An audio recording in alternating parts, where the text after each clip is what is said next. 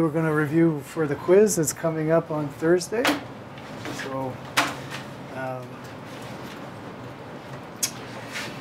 I think we should start with that. Give it as much time as is needed.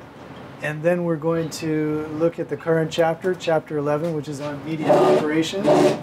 Sarah, there's just a, the attendance sheet. So media operations would, would, if you ever were asking yourself what would it be like to work in a radio or television station, media operations pretty much covers it. The, Nick actually shuts the door because in the recording you can hear outside. Never feel like you can't come in if the door's shut because it's always shut. I just saw the, the note on the door. Oh, the note, note about the photography department, I think. Yeah. So, uh, um, as I say, the topic for this week, media operations, although, you know, we'll only sort of have half classes because we're going to review and then we'll have the test next class. But uh, it is good to get a sense of uh, what what goes on in a radio or TV station, what kinds of occupations are there, how how the different parts of a broadcaster fit together. And uh, the textbook covers also cable operations, which is something I'm less familiar with, but we can at least look into what it talks about there. So uh, just, uh, I, I, graded your, uh, um, your news, industry news presentations. It was a lot of fun to see you guys up talking about the things that we've actually, you know, been sort of studying in a general sense, seeing you talk very specifically. A little bit of research of my own that uh, I was uh, um, inspired to do this morning. I was listening to a podcast from The Verge, which is a, a technology website, and um, they mentioned there they were talking about you know the Facebook scandal of you know selling users data and uh, a huge breach of security and somebody on was also saying, well, you know, this has been going on on television forever.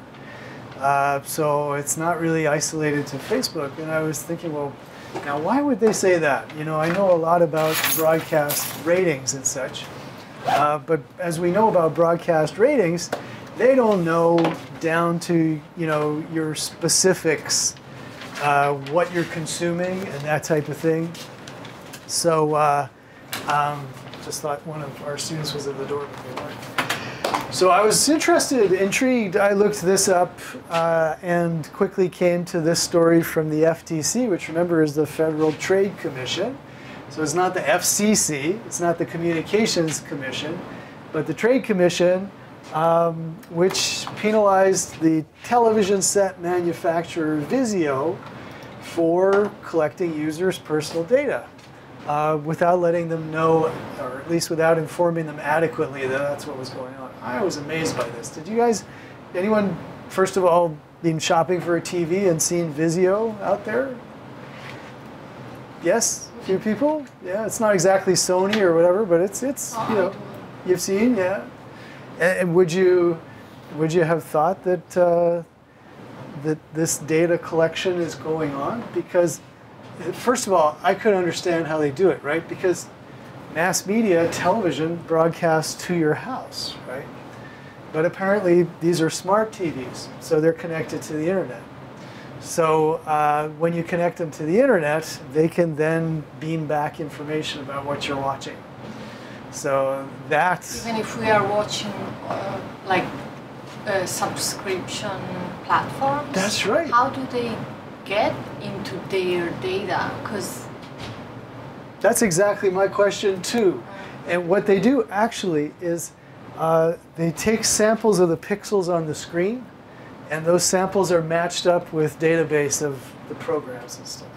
Incredible, wow. right? So, so it could come from a subscription platform like HBO. It could come from over the airwaves, right? So it doesn't have to come to the TV through the smart TV connection, through a network connection. It can come from anywhere, and it recognizes the pixels off the screen, which is pretty, pretty incredible. So I didn't know that at all, and that, that's what they had mentioned in in this podcast. I think the only thing is that they weren't right about is before smart TVs, this wouldn't have been possible because there was no way to get the data from your TV to the to Vizio, who aggregates it and then sells it. So, so in that way, they were, you know, kind of saying, well, it's always been like this. In fact, it's hardly ever been like this. It's just recently become like this. But I had, I had no clue, you know. So the FTC, what they were, um, why they sued, you know, why they fined Vizio for $2 million and required them to destroy all this data and stuff was that it, the way that customers were informed was pretty devious. Apparently, they were told that, um, you know, uh, give us, you know, accept this service because we will make program recommendations based on what we know about what you watch. So, uh, and in fact, they didn't even ever make any program recommendations. All they wanted you to do was to say yes to participate in this thing. Uh, what did they call? Smart interactivity setting, right? Uh, so they didn't. They didn't say that in addition to monitoring all of your viewing habits in order to give you, you know, program recommendations. They didn't say that it would also be used as uh, targeting, but in fact it would. So uh, um, you could uh, you could be watching a show, you know, your favorite show on, on Netflix or something, or on anything, favorite show, and start receiving advertising targeted to you based on that. You know, like, oh, new HBO special about such and such a thing. It would have come from that these are the kinds of interesting little things you find out in, in, uh, in industry news. So uh, I thought that was cool. If you thought you were safe from tracking by using old media, well, not quite, because uh, as long as it's connected to the internet, then they can get your data that way. So, so that's it. Um, and they direct people to various publications they have about, you know, privacy and the current rules that exist. So it was kind of interesting to know that TVs as well can be, you know, subject to the same kinds of, uh, of data monitoring that uh, social media open you up to and stuff like that. Well, okay. So on Thursday we have quiz two. I'm looking ahead to the end of the semester because we're getting there. Um, and so first of all, that was the wrong day for quiz two. on Thursday, all these dates, are all these dates off a little bit? Isn't today the 16th? 17th. Today's the 17th? Okay, so the 19th will be our, our quiz. Uh, today we're reviewing for it. Uh, let's see, May 1st, I sort of shoot you an online discussion question regarding social media, and that has to be done within a week. And then after that, the last thing that uh, we're looking at is a term paper. Um, so um, we can discuss the assigned topics for a term paper, but also if you have any personal interests that you want to work on, you could talk to me about it and make sure it's okay with me. But we can, uh, you know, there's there's five topics that are assigned. I can walk through them with you, and if you feel like you want to work on something else, that'd be okay because it's been a long semester. And, but do try it out on me, and we'll you know, see if we can uh, compromise on what you're interested in and what, what's appropriate for a final essay. Be happy to do that. Okay. Are they available now, or are we just now talking about this? We're going to start talking about it now. So it's due on May 15th. So it's like almost a month away, but it's a good idea to talk in advance. Cool. Okay, so today we're focusing in on reviewing for the quiz, and then um, I'll, you know, start off the topic of the week, which is industry operations.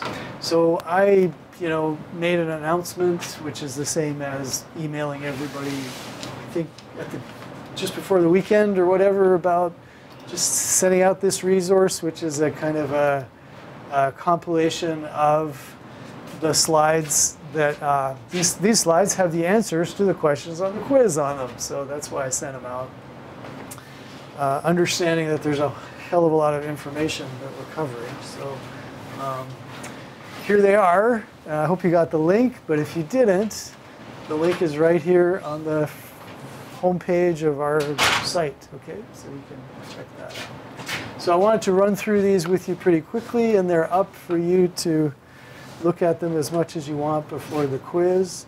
So the quiz is on chapter 8, 9, and 10. There are 25 multiple choice questions. You've actually seen them on the Kahoots before. Um, I'm not going to put the Kahoots up this time, but I will before the final exam, which will contain some of these questions and other stuff that we're throwing in there and things. So this one's more your traditional um, memorize, uh, memorize the information uh, stuff. So you'll see in red the, uh, the information that is important to remember for the quiz. Okay.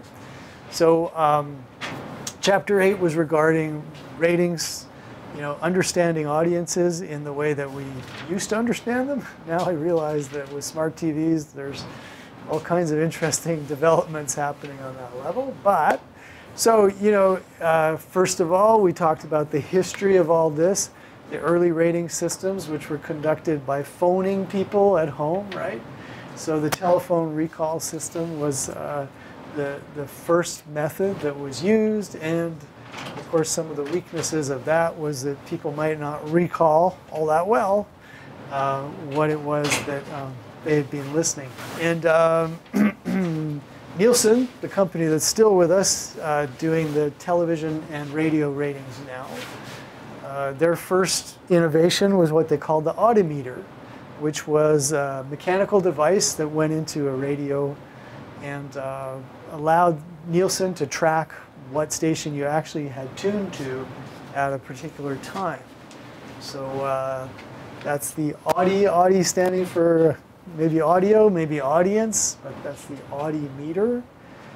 We'll see that there are slight differences between radio and television and between the major markets, like the largest markets in the US, and the smaller markets. Remember, every uh, geographical area is divided up for broadcast purposes into designated market areas. Remember DMAs? And so there's over 200 in the United States. And uh, the biggest ones, which have large population, affluent population, like the Bay Area, for instance, uh, will be using uh, a, uh, the, the, people meter device. These uh, replace what is still available in all of the smaller markets, which is diary reporting. Um, so that's an example of a diary there where you have to write in, you know, what station you were listening to, where you were, were you at home, office, car, whatever, and the day part and stuff. So as we said, the diary also suffers from the recall problem and also you may not know all the stations that you were listening to. So in the larger markets, the portable people meter has been introduced. Remember, it's a, it's a little electronic device, um, smaller than a cell phone that actually listens to codes that are um, uh, put out on the, uh, mixed in with the audio of the songs that you're listening to.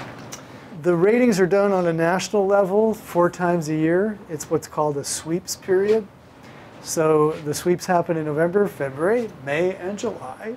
And at that time, Nielsen uh, puts in extra resources into uh, covering the viewing habits of the entire country instead of just the local markets. Uh, that's really important for television broadcasters uh, because they want to know, for instance, the sweeps in May happen just before the upfronts where they sell all the advertising. So the sweeps help the networks establish, you know, uh, their advertising rates by giving us an idea of who's listening to what. Okay. So a slight variation between radio listening and television listening. Um, because radio uh, audiences tend to change channels more often than tele television does and stay on a channel for a sort of short period of time instead of for an entire half hour segment, radio measures in terms of AQH, so average quarter hour.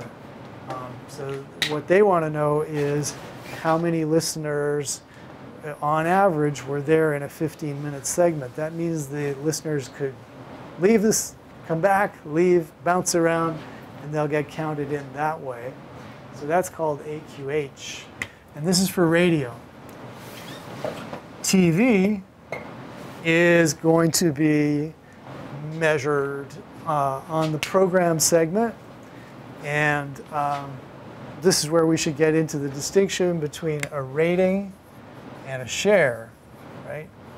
The rating is the estimate of people tuned in divided by the number of people who own a TV radio set. So let's take a really simple example. Let's, let's say 10 people tuned in in a tiny market that has only 100 people with radio or television sets, right? And so your rating would turn out to be 10% in this case. So this would be the, the number of people who were, um, you know, they call it either HUT, households using television, or radio listeners. And down here, so that's what this is, down here is your universe, your total number who are listening, right? So this is rating. And now you remember share is a little different, right? So share typically has a smaller denominator than rating because share, this is only the number of households with TV on, okay? So um, it'll be less because in any given night, not everybody's watching TV. So you might have a universe of 100 sets, but in this night, in this case, only 50 people were actually watching. Only 50 households had the TV on, so then 10 over 50 would give you a 20% share. Even though it's the same number of individual households who are actually listening or watching, but the way you calculate it is a little different. Universe is uh, what we use for rating, and uh, this is just the number of households that have the TV or radio on. So, any questions about this? We good to move on with this? It's not, uh, the, any, any question I ask you about it will have easy math. But you just need to remember the difference of how rating is calculated versus share.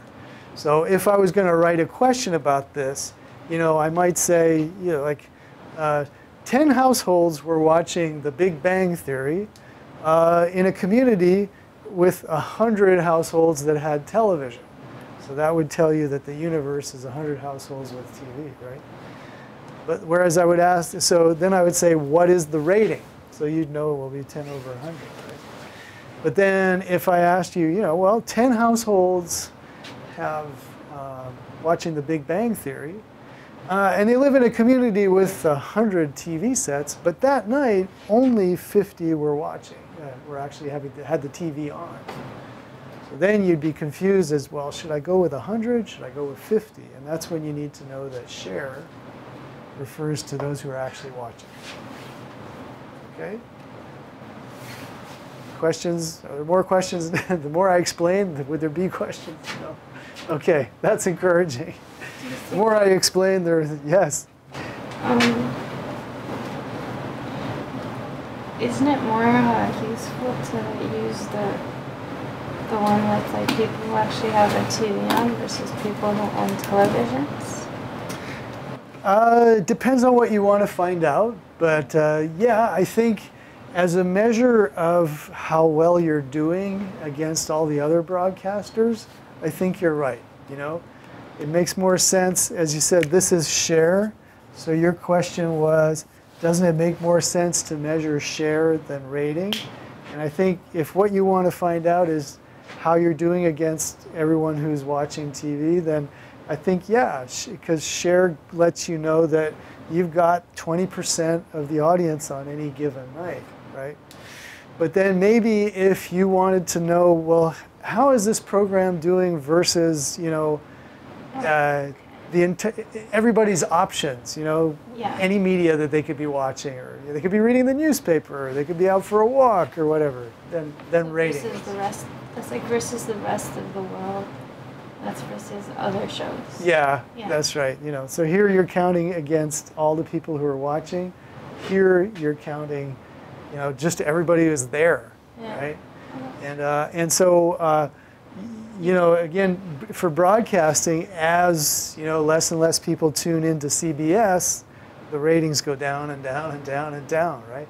Versus share, even if you know, less and less people are tuning in, all we're counting is the percentage of the people who actually are tuning in. So share starts to look better and better and better versus rating, you know, because rating, it just, it's dropped through the floor, whereas share, it's still okay, you know, so. so I think uh, broadcasters share, you know, they, they have your idea too, that share is probably, it makes them sound better anyway. Yeah. Yeah, so that's a good question. All right, another another boy. This is this is definitely the week for concepts of measurement. Um, this one here is important. Cost per thousand or CPM.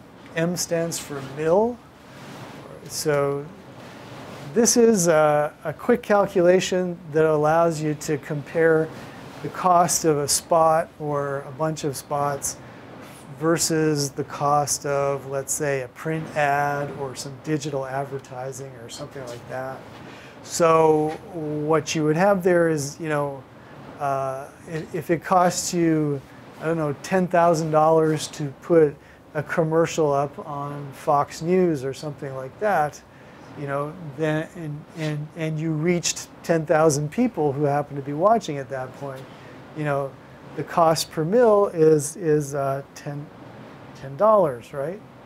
Um, so it's really just how much did it cost to reach a thousand people? So just remember that CPM. You know, I typically don't ask for any calculation or stuff like that.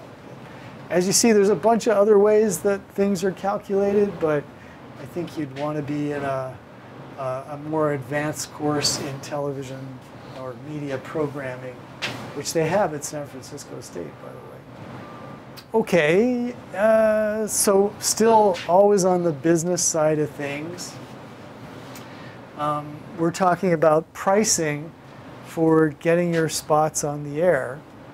And uh, there are a bunch of different um, ways that uh, you can get, you know, discounts or bundles of, of spots. Uh, you pay for them that way usually. Nobody pays them for them one at a time.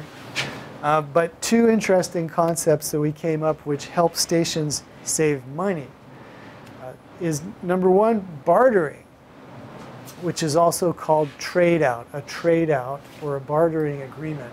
So what that is, is when part or all of the cost for some advertising is paid for in services. So it might be that you um, you know, enter into a kind of a promotional partnership with, uh, I don't know, Red Bull or something like that, so that, um, you know, they will provide some product or support at an event that you're doing, and you will provide airtime. So that's a bartering agreement, for instance. Um, sometimes you're, you're trading stuff. Uh, you can also barter spots themselves. So, you know, in, instead of um, paying for some programs from a syndicator, you can give a little bit of cash and then say, and you can also have all of these advertising spots in my programming. So that's another way of bartering. So you're not paying cash, you're trading something of value. And as a station, what you can trade is airtime for spots. So that's a bartering agreement. Uh, the co-op or cooperative advertising is when part of the cost of the advertising run is paid for by the manufacturer, for instance. So that would be, uh, you know, if, um, if an electronics manufacturer um, went and, you know, paid part of the cost of a retailer who's selling their devices. So I don't know, you, you got a phone, you know, the, the, the, uh, the, the the retail shops are selling the phone, but half of the advertising is paid for by the phone manufacturer and the other half by the retail shop. So that would be a co-op where they cooperate together. So any questions about that? When I explain it, it's really pretty clear, right? So, so bartering, we all know about that. It's like trading something. And then cooperative, that might be a little more difficult to remember, but just remember it's the manufacturer who pays part of the advertising. All right, and then we talked about, uh, you know, digital technologies and the different ways that um, advertising costs are computed in digital. So just take a look at these. I don't know, should we run through them briefly? Hits. So this is where they count the page views that are actually on the assumption that somebody who clicks to the page will see the ad. Um, not very reliable because you know not not just humans are clicking on pages. There are you know software that goes running through a lot of pages for different reasons. You wind up paying for that. So then uh, something that requires more interaction, maybe a little bit more reliable, is cost per click, CPC. So when someone clicks on a banner ad that appears on a website, we all do it, maybe accidentally even, uh, then they uh, pay per click. So that also could be kind of falsified. Um, and so then you get into something that's a lot less common, cost per transaction, where the advertiser only pays when somebody actually buys something. And that's it. Uh, cost per impression, uh, again, simply relates to did they see the ad or not. So that's closely related to CPM.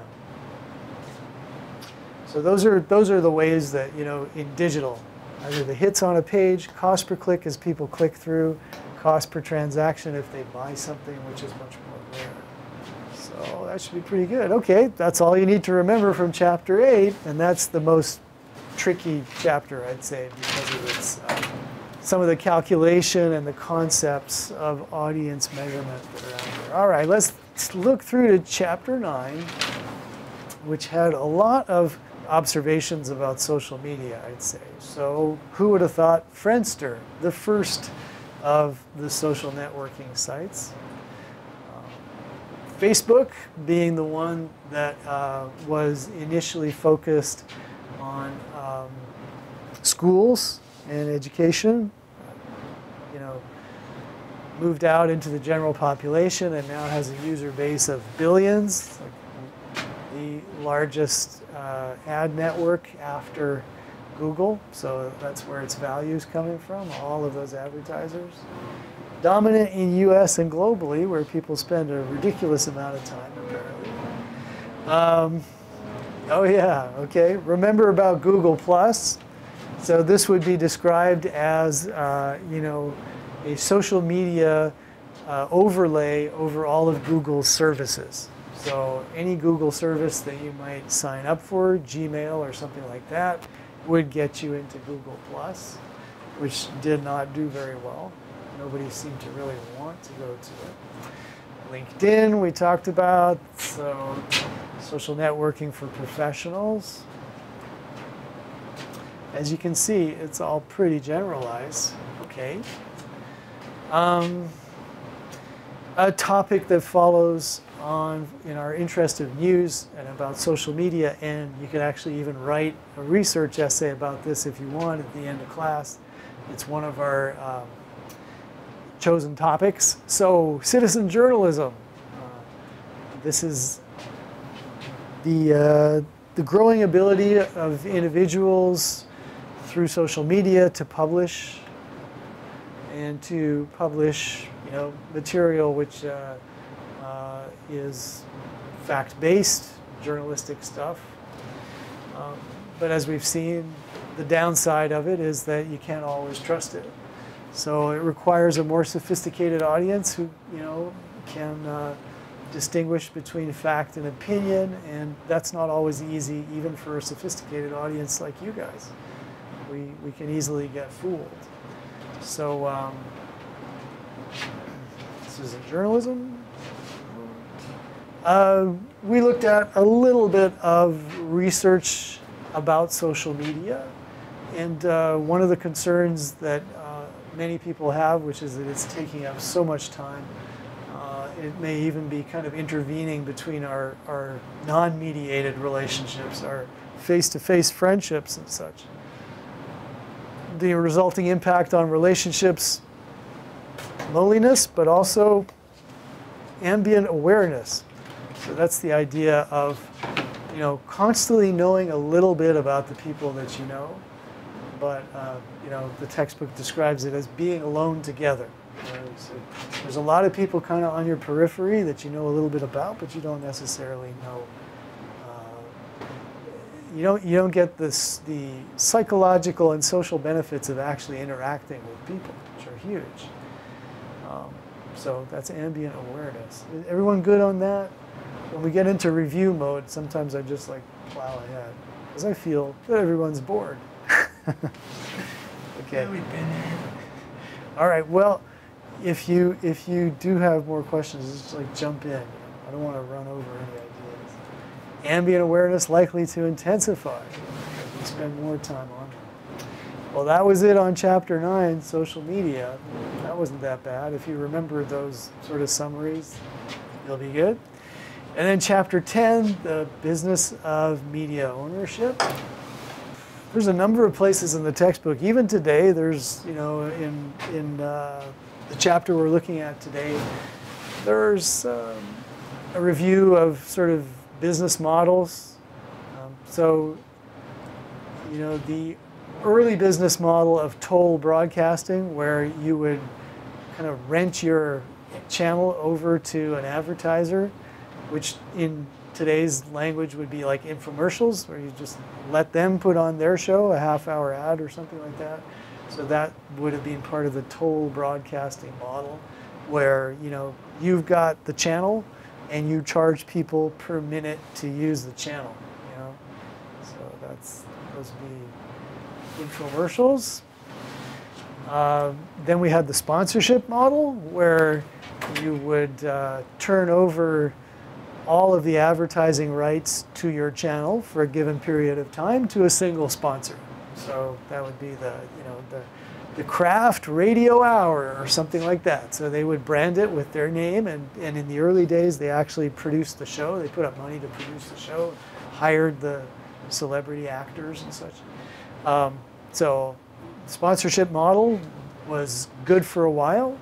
Um, broadcasters found out that they could make more money by using spots, uh, but sponsorship occasionally comes back as, uh, for instance, online advertisers take over, you know, an entire website for a day or the, the you know space of an event.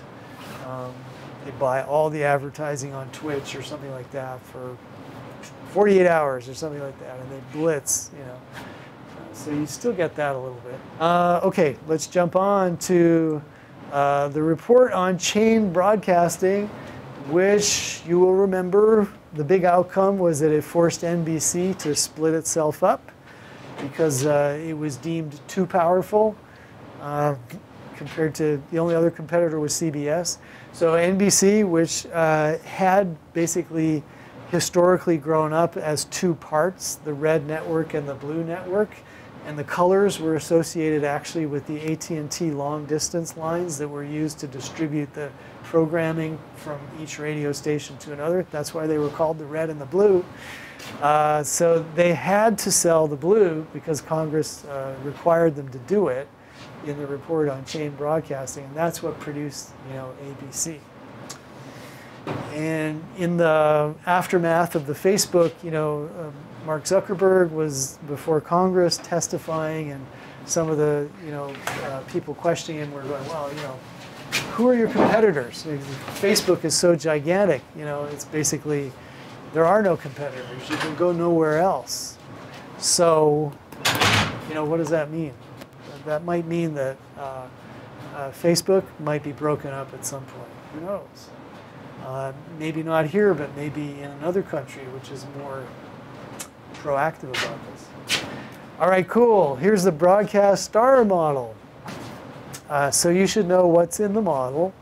And uh, it's an attempt just to be, you know, comprehensive about who's, who's involved in TV broadcasting, the stations, the program suppliers, which could be the networks or the syndicators, the regulators, which, you know, are in charge of uh, you know, renewing the licenses for those stations, and they also look at content eventually. The advertisers who pay for all of this by buying time on the stations or by placing products in the programs, and then audiences who are there to consume the stuff. So that's uh, the broadcast star model. So do remember that. It just gives us a picture of everybody involved. Ownership of broadcast stations, right? So, uh, one thing that we said since the FCC licenses stations um, to you got to be an American citizen, you can't be a convicted felon. Um, and more and more, they, because there are so many people who are uh, requesting licenses and few terrestrial broadcast frequencies anymore to license away, they'll um, sell them at auction. Who can who can come up with the most money? Um, okay, we looked at the distinction between owning and operating a broadcast station. So, uh, you know, um, there are a few variations there. We told the story of KRON, which um, had been a privately owned affiliate of a network. So that is one type of relationship you can have where the owner simply affiliates with a network. Um, there's something you know currently called owned and operated, which is where let's say NBC would have wanted to buy KRON, but eventually the DeYoung family sold KRON to somebody else, which brought about its, its you know continuing troubles basically. Uh, but owning and operating is by by a network is is another possibility. Okay. Uh, down uh, the more rare occurrences. Um, so some stations are not operated by the company that owns them. They may buy a station, but not want to, you know, get a whole management team and everything that's required because that costs a lot of money. Uh, so in smaller markets, it's possible to come to a local marketing agreement, the LMA. So what, what that means basically is uh, you own a station and somebody else owns a station but you allow them to operate your station at the same time. So there's that, the marketing agreement. And then something related is what if one licensee owns two or more stations? So that's called a duopoly. And that's sort of rare because uh, typically in TV, you're not allowed to own uh, more than one of the top four stations in a market. So you could own the CBS affiliate, but you're not allowed to own that and the NBC affiliate. You could own the CBS affiliate and some independent station lower down that doesn't work with a network because it's a smaller station. But uh, it's, a, it's a rare occasion where you can actually have two. So that's called duopoly because of, because of the restrictions on, the duopoly is one license owns two broadcasts. Yeah, two, and, and it would be two. These we're really talking about TV stations. Okay, stations. Because in radio, the rules are you could have up to eight. In a big market like ours, Clear Channel could have eight. But duopoly, you know, there's monopoly where you own one everything. duopoly is where you can own two two things. So remember that that way. And uh, then we talked about you know some of the. Uh, some of the dangers to station ownership uh, is that you could get sued, uh, especially if you know you um, say something controversial or potentially untrue about a, a person's reputation. So remember, we distinguish between libel, which is uh, an attack on someone's reputation in print, and then slander, where it's said, you know, so your anchor person says something. Um, and you know, this has to be false. First of all, if it's true, there's no way they can sue you and win. Um, so it has to be false, and you, it also there's you know it has to be demonstrated that you willfully set out to say something that wasn't true, and that would be harmful to their reputation. Uh, Is the responsibility of the like of the anchor or of the uh, well, the anchor as an employee of the station would be, the station would be sued, basically. And the anchor is no responsible? Oh, I'm not sure about that. They might include both. I'm not sure because, you know, some of these anchors are very wealthy individuals as well. You know, they make $20 million a year if they're on Fox News. Another thing is that there's a different, um, a different set of standards for public figures, politicians, you know, entertainment celebrities and stuff like that. Um, so it's uh, they have you know, for instance, they can't they can't claim you've invaded their privacy because they put themselves out there in public for you know consumption. Okay, uh, we're almost at the end here. I'm sure you're happy. Consolidation has made the market increasingly oligopolistic. So consolidation meaning that uh, you know there are fewer and fewer companies engaging in the business of broadcasting because they buy each other up. That's consolidation, where you you know you one company buys more and more companies, gets bigger, um, and so this leads to what they call oligopoly or an oligopolistic market, meaning there are only a few players who actually own everything. So we saw, we looked at you know the five largest um, conglomerate media companies, Disney being like the, the, most impressive, I guess, because it owns so much and, and what it owns is you know so so culturally important. You know, Lucasfilms and Pixar, and ESPN, and so on. So, ah, okay. Oh my God, we're not finished yet, right? So there's two here. Uh, first of all, regarding um, the cable business. Um, well, no, actually, this is this is the relationship between a network and its affiliate. Um, so, if the network owns and operates a station, that's the end of it. You know, they're basically providing programming to their own station. No money needs to change hands. But if the local station is an affiliate of the network, the local station is privately owned by somebody else, then uh, a uh, compensation agreement goes into effect, which is, you know, typically to be the NBC affiliate. For most of the history of broadcasting, NBC would have written you a check. You know, in addition to being able to make money from advertising, you would also make money because the network would compensate you. Um, but as we said, we're in a position now where we're seeing reverse compensation, where the network demands money from the local affiliate because it's so expensive to produce all the programming, that, especially sports programming that goes to local affiliates. They demand reverse compensation. So the old way was the network pays the station. Thank you very much for showing everything that we've created. And the new way is the network says, if you want to show our stuff, you got to pay us because it costs us so much to produce it. You know, we want you to pay as well. So that's reverse compensation. And uh, just a note, the final note here, consolidation will continue in radio, creating an oligopolistic industry. And so, you know, we're seeing a lot of this in print as well as in radio, where uh, big companies buy up small stations. Uh, you know, again, that consolidation is creating really big station ownership groups with hundreds of stations. Clear Channel had thousands of stations at one point, a thousand more.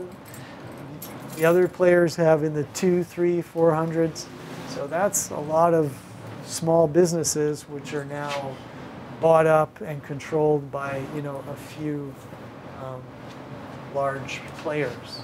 So that's the story of oligopoly. So there you go. That's it. These slides are up there. So I suggest you go through them again before the quiz, just looking at the red the, the red lines there. And um, any questions about anything that we need to clarify again before we're done? Cool. Well, that was dull, but it will impact your bottom line, so that's okay, I guess. Fair compensation for being bored is getting a good grade. All right, let's take a look then uh, because we have a whole chapter for this week, but uh, it's not gonna.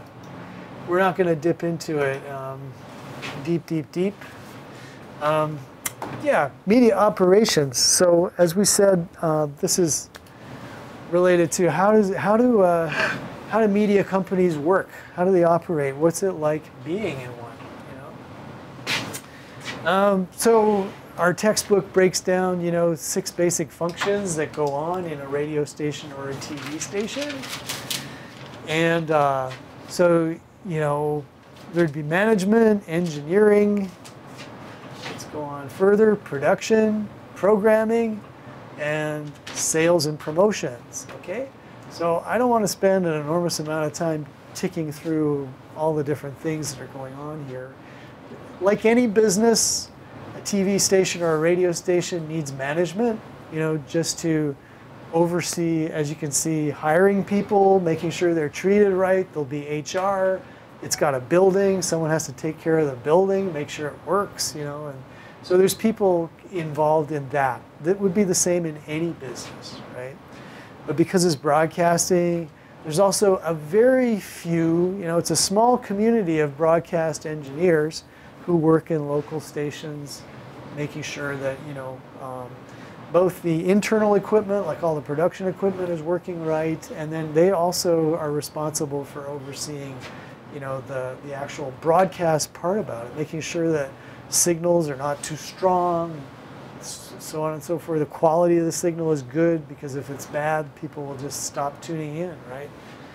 Uh, however, these are people with, you know, uh, engineering degrees in uh, electronic engineering and, and uh, IT. They've got to have, you know, plenty of those skills now too. So uh, um, this is a, a, very specialized position. We don't have classes at City College, for instance, that teach this. Um, you'd have to go to, you know, a few, one of the few engineering institutes that, that teach this type of stuff in the country. So that's maybe not your first choice for career. Uh, production, there's um, plenty of production that goes on in local stations. In radio stations, it might just be more like spots and uh, live remotes. So you know, if you if you go out, um, the promotions people have you know a deal with Sleep Train or something. It's Saturday. They're, hey, come on down. Our DJs are broadcasting live from Sleep Train. You know, you can get in the big bed with everybody and be on the air. And so, you know, that kind of thing has to be produced. So there's stuff like that. Um, and uh, I wanted to get, okay, programming and staff. Uh, let's get to this sales and promotions because this is where there's a lot of openings in broadcasting and uh, where um, a lot of money is actually made still. Um, so even as production staff like DJ is being cut down, there's less less uh, openings there. Um, although I wouldn't be totally discouraged. It's like, not like there's nothing. But in sales and promotions, the radio stations continue to go like 100%. Uh, because you know these are these are the money producers in a station. So you're generally, uh, as a successful salesperson or working on the promotions team, uh, you're regarded uh, as, as bringing in the money, so you get a certain amount of respect, versus, uh, you know, people in the production end are, are just cost. You have to pay them, and they don't directly bring you any money. So sales is uh, um, an interesting thing. It can be challenging, but it's among the best paid positions in broadcasting. Uh, and people don't usually think about it as an option when they're just going into broadcasting or something. I want to make radio shows or I want to make TV shows. But you can actually make more money in sales. So I wanted to point that out. It can be difficult because there's a lot of rejection in sales, just like in any other kind of job. Selling, there's a lot of no's before there are you know yeses. Um, so uh, I knew three people from my radio classes over at San Francisco State who went out in, in various ways. Either one of them worked in promotions and two of them worked in sales. And uh, I mean, some have gone on to be board ops, and uh, one of them is a KNBR host. Um, so there's, there's jobs also on the production side. But in sales, um, they used to tell me a lot of interesting things about being sales people. So the way it works is when you get a job in sales, and there are usually a lot of openings because people come and go, uh, because you know it doesn't work out for everybody. So you'll get into a station in a position in sales, and for about three months, there's usually a small salary, like uh, you know it would probably come to something like twenty thousand for the years. It's not a lot of money, but it's something to get you up and going. And uh, uh, then after three months, you're expected to start providing for yourself through commissions from what you're selling. So that's a bit of a challenge already. You have a pretty short time to get going. They will give you lists of contacts that are usually, you know, people, companies that have advertised before.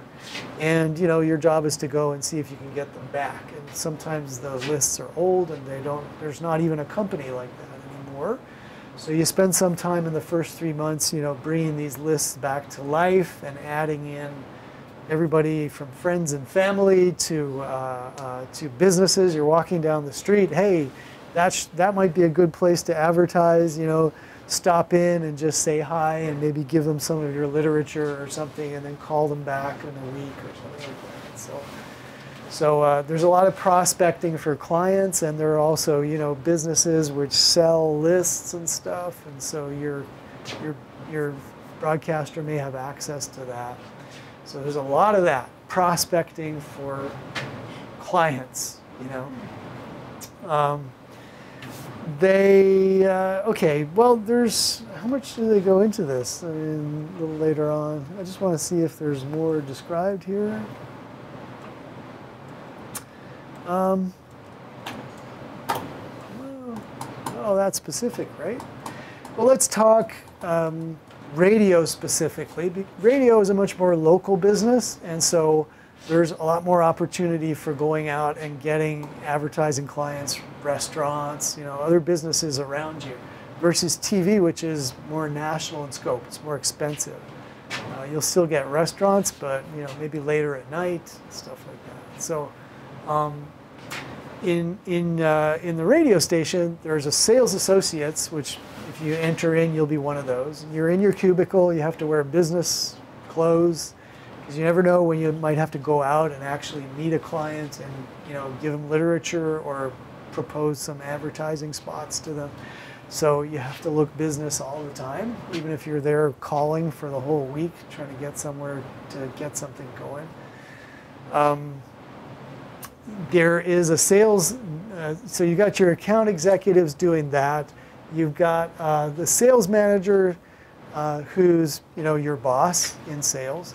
And so the sales manager is, uh, first of all, overseeing all the account executives, uh, also producing all of the materials that the account executives have, like the price lists and uh, you know uh, uh, the promotional material for the station, like why should you advertise with us? So the sales manager needs to know, you know, about marketing. Uh, they need to produce those materials they need to know about ratings and such so that they can come up with the, you know, the kinds of arguments which will say, hey, advertise with us, we're the best at this, you know. Um, so the sales manager also can, can often be like the closer. Like as an account executive, you may, you know, bring the relationship with an advertiser a certain length, you know, well, I've got this car dealership, they want, you know, 10 weeks of this many spots and the sales manager will come and, and you know close off the deal and sign all the paperwork and make sure that's all ironed out. You know. Now the sales manager is making a commission plus a nice salary, so they're doing really well. As I said, your account executives are um, are struggling sometimes. So as you you know progress, you get you get regular clients who sometimes all you have to do is pick up the phones and say, what do you want? They tell you, boom, it's done. You didn't even have to go see them, and you're making thousands of dollars a month that way. So it's, it's really good if you get, you know, steady clients who are buying spots all the time.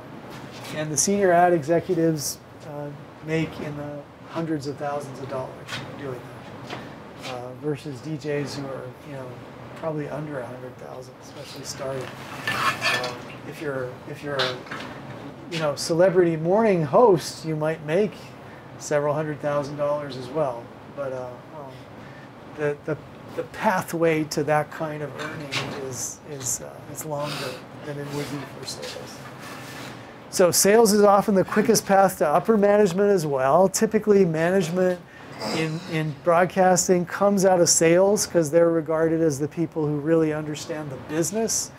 Versus the creative side, which they're regarded as sort of crazy artists who can, you know, get people interested, but uh, they can't necessarily make the business work right. So that's another thing about sales, which is interesting. Um, and closely related is the promotions department. So this is another place where if you want to get into radio, uh, there are always openings. Again, you might be working for free. Uh, you know, as, as a as a starting account executive, you've like got a little salary, and then you're hoping for commissions. In promotions, the way in is very often it's like I want to be a part of this. You know, uh, what can I do to get involved in the station? Uh, they look you over. Do you look like a sort of normal person? you know, yes. Okay, come and help us on the street team. Uh, you know, so and you know, television stations and radio stations are constantly promoting themselves. You know, and so you'll go out and uh, and and just meet people, hand stuff out, things like that. Can you guys remember ever encountering a street team or stuff? Were they giving out merchandise or what they what they were doing for you, Andrea? They were giving out like stickers and stuff, and like they also would let you request a song. So like they would have spots for like Thursday, Friday, or whatever, and then like they would let you put a song. And they're like, oh, like okay, tune in on that day, and you'll hear your song. Yeah, that's cool. Yeah. Uh, and and what event did you see them at? Do you remember? Well, it wasn't an event. They would just like be set up like at parking lots, Oh, okay. like by grocery stores, like big grocery stores. Okay. In San Diego, like they just set up and they have like a little like canopy and yeah. They just set so they kind of make their own event. Yeah. Okay, that's little- interesting. Little thing. We had them at the health center. Like here, every year the health center has kind of like an open house just to show everybody all the things that they do for you. And, uh, and we had, you know, I can't remember which two local stations came and just set up and play music and you know hand out their stuff. And, you know, so it's it's good for them to promote themselves. Yeah. Anybody else seen any promotional stuff? There's also, you know, crazy stories about DJs, you know, blocking the Golden Gate Bridge. I think it was Chewy Gomez blocked the Golden Gate Bridge, or maybe he was working for somebody who did. So they got fined for that. So some some crazy kinds of stunts that I haven't heard of recently, but uh, where they just try to attract attention to the to the station. So, you know, the idea of promotions in a station is it's since you know you're trying to reach out to other audiences, like you have your core audience that knows you know your KNBR, they love you, they love what you do, so you you want to keep them faithful and keep them happy, but you also want to expand your your audience, you know, and so part of what promotions does is to just get get the name of the station out there, you know, just set up and give stuff away and get people thinking, oh wow, hey, I want to listen to that station. You know? So that's important. So they'll do crazy stuff. Like uh, one station had this on-air competition. Again, they got fined for that. All these really crazy things. So they had a fake competition, and uh, they said, uh, uh, "We're giving away free breasts." Uh, you know, the fifth caller or something like that. So people call in, and they thought they were getting plastic surgery, but then they got a bucket of fried chicken. Like, gosh. So that was that, right? So they got fined for that because when you have a competition, it actually has to be a real competition that gives what it is that you say you're giving away. Um, this relates back to those quiz show scandals in the 1950s where they were, you know, turned out they were giving answers to people, on, you know, to, and so this there's a lot of rules around competitions and stuff. And one of them is that it really has to do what it says it's going to do. Um, so, so you know, there's that aspect where you're promoting the station, getting people to know. And then the other thing is, you, you know, just being a part of the community. You're there during blood drives. You're there doing promotions and stuff like that. So, so those are um, those are fun activities.